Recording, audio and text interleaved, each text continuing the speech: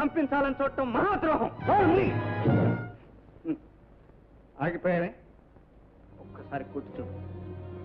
నా ఒంటి మీద చేయబడితే ఏం జరుగుతుందో నీకు బాగా తెలుసు. వస్తా. ఆగు. బాగా ఆలోచించుకో. నీ జుట్టు నా చేతిలో ఉంది. జుట్టు నీ చేతుల్లో ఉందని తల నరుకునేటంత తెలివి తక్కువ కాను నీ చేతులు నరికి జుట్టు ఎలా విడిపించుకోవాలో నాకు తెలుసు. నాతో విరోధం పెట్టుకున్నవాడెవడు బతికి బతకట్లేదు. ఇప్పుడు నేను తలుచుకున్నానంటే ఈ గడప దాటిపోలేవు. నేను తలుచుకున్నానంటే నువ్వు ఉండవు నీ గడప ఉండదు.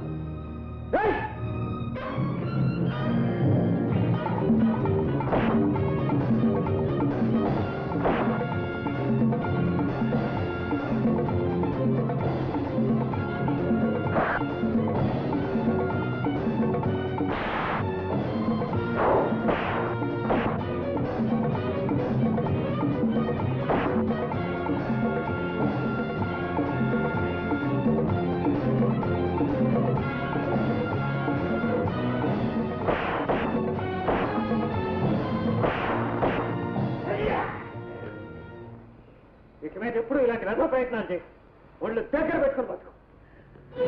లేదన్నా అయ్యో నేను కట్టుకున్న నాట్లన్నీ కూలిపోయాయి. నేను వేసుకున్న పథకాలన్నీ మారిపోయాయి. అయ్యో.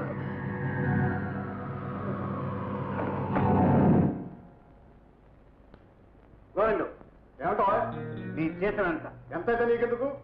ఏమిటా తలపిక్క సమాధానం? రెండు వందలు నీవి నూట యాభై. రెండు వందలు వంద. వంద.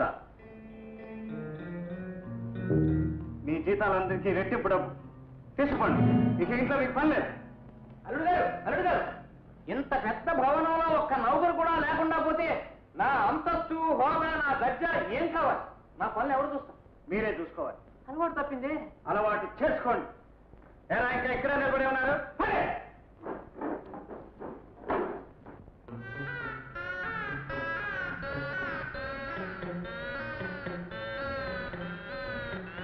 అయ్యా మహాప్రభు నమస్కారం. ఎవరయ్యా? విత్తానికి వేళ పడలేదు? నేను పిచ్చగాన్ని కాదండి దయాసాగరాన్ని. ఎప్పుడే మర్చిపోయారా? ఏ? జ్ఞాపకం ఉంచుకొని అంతటి మహనీయుడువా?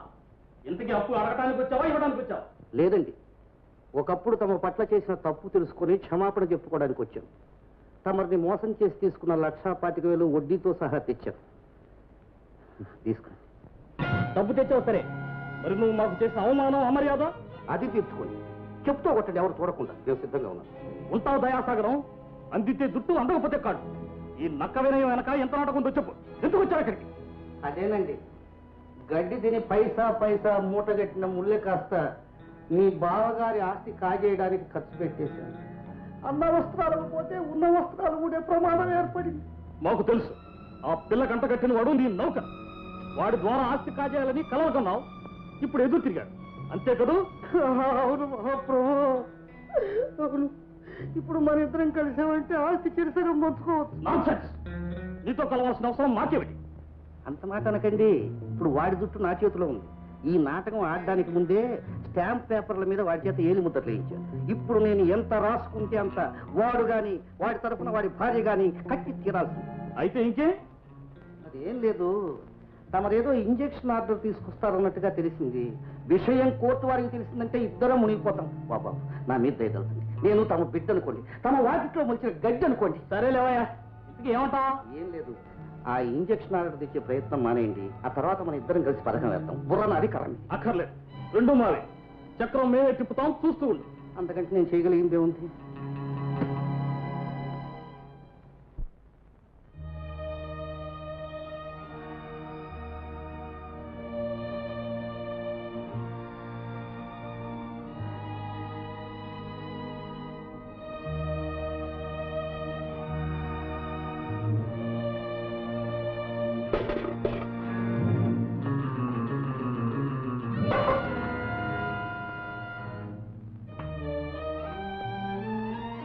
ఇంకా మేల్కొని ఉన్నారా? అబ్బే లేదు సీత. ఎందుకో ఇప్పుడే మెలకు వచ్చింది. అరే పాలు ఇంకా అలాగే ఉన్నాయే? తాగలేదే? చల్లగా ఉన్నాయి. వెచ్చిపెట్టి తీసుకొస్తానుండండి.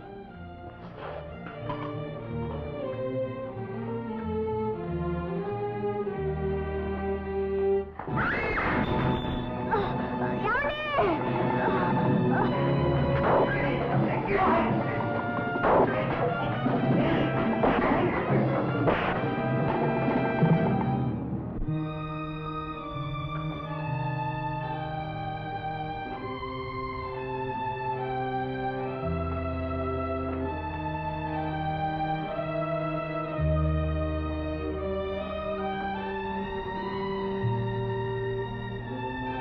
సీత. సీత.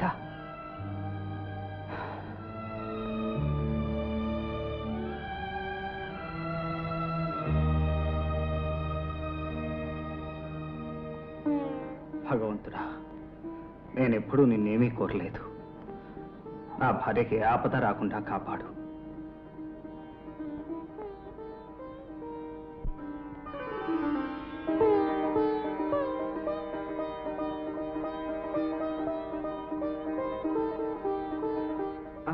లేవు సీత పడుకో. ఏమండి? మీరిలా తెల్లవారులు మేల్కొనే ఉన్నారా? ఏ సేవ చేసే హక్కు నీ ఒక్కదానికే ఉందా? సీత కాఫీ తాగుతావా? వద్దండి. నాకు కావలసింది ఒకటి మీ అభిమానం అనురాగం. ఏమండి? నన్నెవరో చంపాలని ఎందుకు ప్రయత్నిస్తున్నారు? నేనేం పాపం చేశాను? ఒకవేళ నాకు ఈ మధ్య ఆస్తి వచ్చిందని కిట్టిన వాళ్ళు ఎవరైనా నిన్ను చంపితే వాళ్ళకి నీ ఆస్తి ఎలా వస్తుందో నాకు అర్థం కావట్లేదు.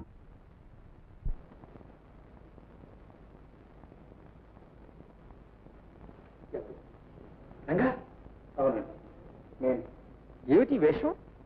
వేషం కాదండి. నేను చేసిన దోషం.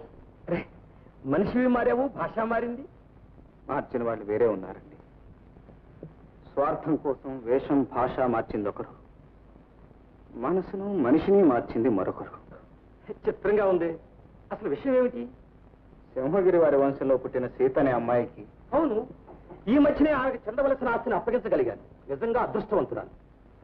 ఉన్నట్టుండి పెద్ద ఆస్తి రావటమే కాకుండా అంతకు ముందే నిడుముక్కల జమీందారు గారిని పెళ్ళి చేసుకోగలిగిందట. వారిని తమరు చూడలేదా? అవకాశం కలగలేదు. ఇప్పుడు చూడండి. నేనే ఆ నెడిముక్కల జమీందారిని. నువ్వా? అవును ఆ దయాసాగరం అంతా నాటకం ఉందని నమ్మించి సిరిపురం తీసుకెళ్ళి ఆ అమ్మాయికి నాకు పెళ్ళి చేశాడు. ఇప్పుడు అమ్మాయిని హత్య చేయాలని ప్రయత్నిస్తున్నాను ఆ ప్రయత్నం అంతా ఆస్తి కోసమేనని నాకు తెలుసు. కానీ ఆ అమ్మాయిని చంపితే ఆస్తి అతనికి ఎలా వస్తుందో నాకు అర్థం కావట్లేదు. పైగా నా చుట్టూ అతని చేతిలో ఉందంటున్నాడు సార్. అలాగా అవును అతను ఈ నాటకానికి ముందు నీ దగ్గర ఏమైనా సంతకాలు తీసుకున్నాడా? అవునండి. ఏవో కాగితాల మీద చాలా వేలుముద్దలు వేయించుకున్నాడు. ఆ అమ్మాయిని హత్య చేస్తే ఆస్తి నీకు వస్తుంది అప్పుడు నీ కాగితాల ద్వారా ఆ ఆస్తిని కాజేయాలని అతను ఆలోచన ఆ కాగితాలు అతని చేతిలో ఉన్నంత కాలం నీ భార్యకు అనుక్షణం గండమే వెంటనే వెళ్ళి ఏదో విధంగా ఆ కాగితాలను దక్కించుకో. తెస్తాను సార్. నా ప్రాణం పోయిన ఆ కాగితాలు వాడికి దక్కనే ఉండు. నేను పోయినా నాసేపు సుఖంగా ఉండాలి. వస్తాను సార్. రంగా. మరొక మాట. ముందు నిజం నిర్భయంగా నీ భార్యకు చెప్పు. లేకపోతే లేనిపోయిన అబద్ధాలు రావచ్చు. తెలిసిందా? వెళ్ళి అలాగేనండి నీకేం పని లేదయ్యా? ఆనాడు వచ్చేమో పెళ్ళి ఆపాలని చూసాం ఈనాడు వచ్చేమో ఏనాడైనా నేను నిజమే చెప్తాను. నిజం ఎప్పుడు చేదుగానే ఉంటుంది. అయినా మీ మేలుపడే వాడిని చెప్తున్నాను నోరు మూసుకుని నిలబడతారా? చెప్పండి. అమ్మగారిని చంపాలని ఎందుకు ప్రయత్నం చేశారు? చెప్పండి. బాబు. చెప్తాం బాబు చెప్తాం. చెప్పు. మరండి మాకే మేము చంపడానికి రాలేదు బాబు. డబ్బు కాసుపడి వచ్చాం బాబు. డబ్బు కోసం నా బిడ్డను చంపడానికి వస్తారా? ఎవరో మిమ్మల్ని పంపింది ఏమిటి ఇదంతా వీళ్ళు ఇక్కడికి ఎందుకు వచ్చారు? ఆహా. ఎంత నటన అవును. ఇంకా నీ నాటకం ఎంతకాలం సాగుతుందో అనుకుంటా. ఎలా అలా బెక్కమొహాలు చూస్తారు నిజం చెప్పండి. ఈయన మాకు డబ్బు ఎంత కావాలంటే అంత ఇస్తాను.